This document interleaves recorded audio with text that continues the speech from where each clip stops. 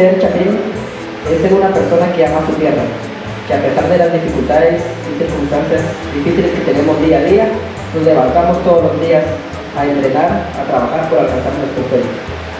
En el segundo año consecutivo lanzando esta gran campaña eh, que buscamos eh, sacar a luz todo el reflejo que tiene en el corazón todo guatemalteco, que queremos ver una mejor Guatemala. Queremos que cada quien aporte eh, desde donde está su granito de arena para hacer acciones que sumen y que sea una mejor Guatemala, la que todos queremos. Guatemala es de todos, no permitamos que solo una persona sea el líder o que una persona sea la que diga que no se puede.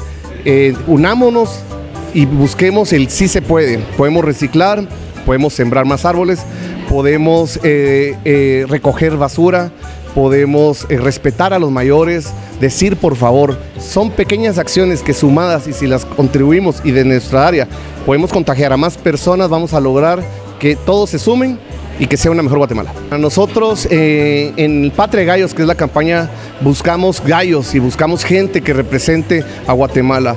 Jorge con su humildad y su gran esfuerzo ha puesto a Guatemala muchas veces en los mejores lugares y ser reconocida, eh, eh, nombrada cuando muchas veces pasaba desapercibida.